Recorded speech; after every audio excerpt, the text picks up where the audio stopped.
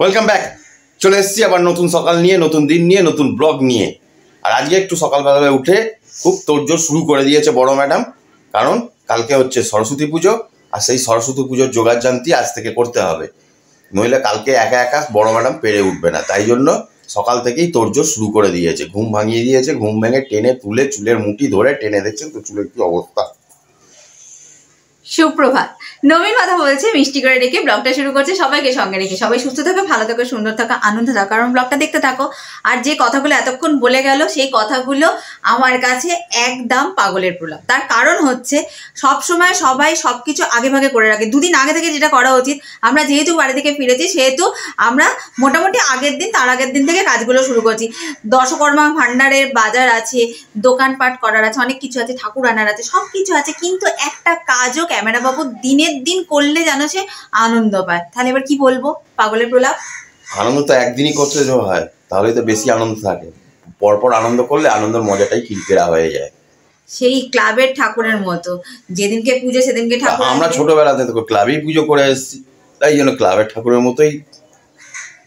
সংসার ধর্ম করছে সেটা আবার টনক নাড়িয়ে বুঝিয়ে দিতে হবে যে এটা সংসার এটা ক্লাব নয়।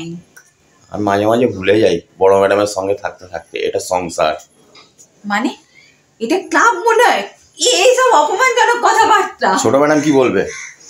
না আমি এখন আর কিছু বলব না। ছোট ম্যাডাম এখন সরস্বতী বন্দনায় ব্যস্ত মানে পড়ে- লেখাপড়ায় ব্যস্ত। কাল থেকে একবারে বড় ধরনের ছুটি ওই জন্য আজকে একটু পড়ে নিচ্ছে মাকে হ্যাঁ মনে আনন্দ দেওয়ার জন্য।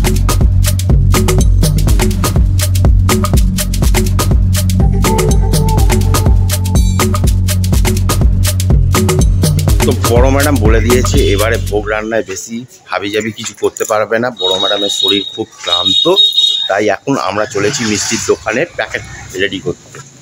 দেখা যাক প্যাকেটের অর্ডার নেয় কি না। আগের দিন নেবে কিনা জানি না, তবে অনেকগুলো সমস্যার জন্য আমি প্যাকেটের অর্ডারটা দিচ্ছি।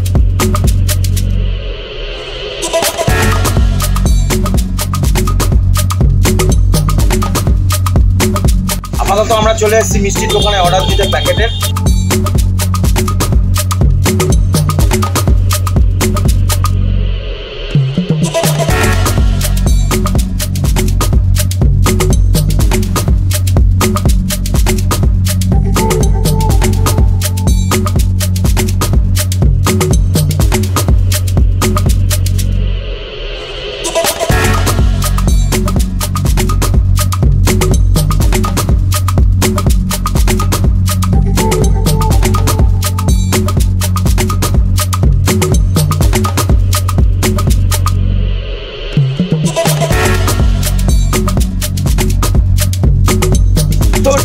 নিতে চলে এসেছি।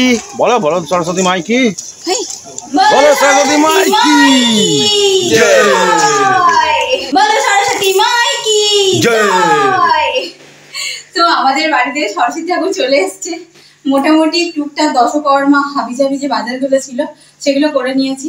এখনও অনেক কাজ বাকি। বাড়িতে একটা পুজো হওয়া মানে তোমরা বুঝতেই পারছ। আর এই দুটো মানুষ ছোট ম্যাডাম এখনও আমাদের মতো চঞ্চল নয়। মানে আমরা যেরকম চঞ্চল, ও সেরকম চঞ্চল নয়। ও একটু লজ্জা লজ্জা পায় ওর মধ্যে। এখন একটু ওই লজ্জা লজ্জার ভাবটা আছে। তো চলো, লজ্জা লজ্জা ভাব থাকা ভালো। আমাদের মতো এরকম। হ্যাঁ একটু দরকার, আবার নাও দরকার।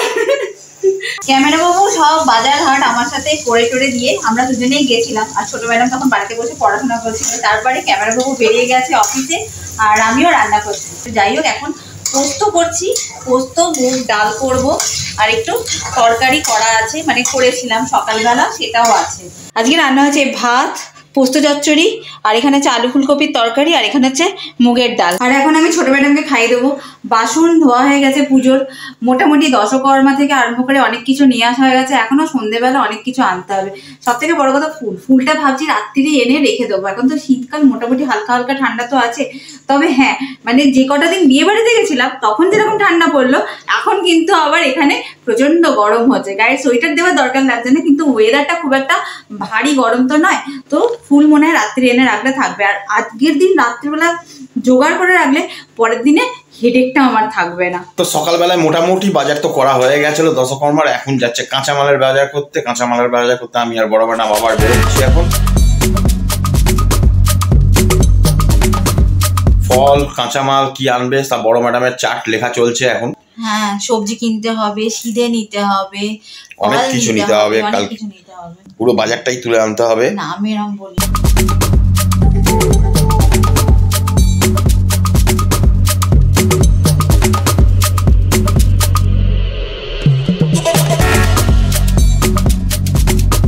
তো আপাতত দৃষ্টিতে বড় ম্যাডামের হেভি গরম লেগে গেছে।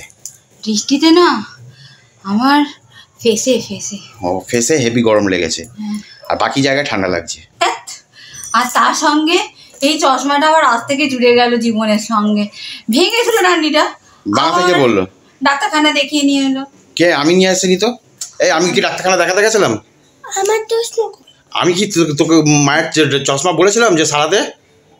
একজন একজন চশমার জন্য ব্যাকুল হয়ে আছে। চশমা আয় আমার প্রাণ তুই আমার কাছে আয়। আমার তো চশমা লাগে না।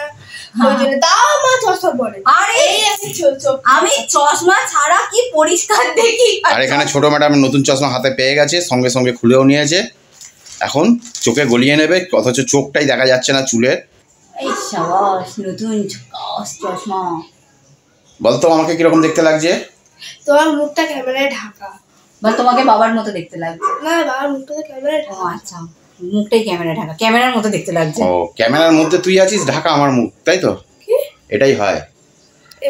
দেখি ভালো কীরকম? ভর্তি। চশমাটা চশমাটা ভালো করে কীরকম? দেখি। না খুলতে দেখা দেবো না।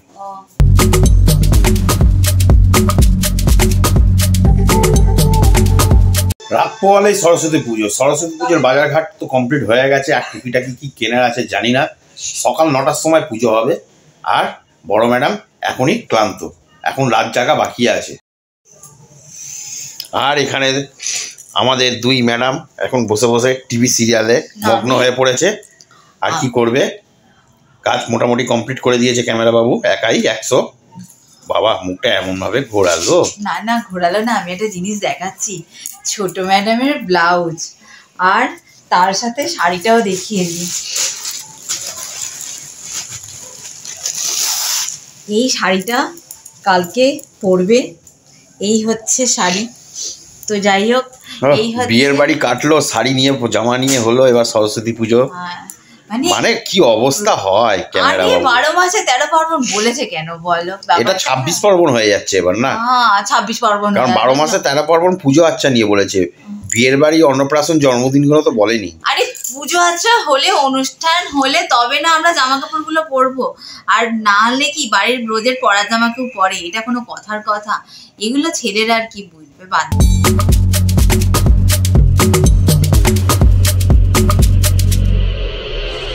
তো এখানে চলছে তোড়জোড় রাত জেগে চলছে তোড়জোড় এখন বাজে রাত বারোটা আর বড় ম্যাডাম ছোট ম্যাডাম এখানে পুজোর ছোট ম্যাডাম কি ছাড়া চালু? আলু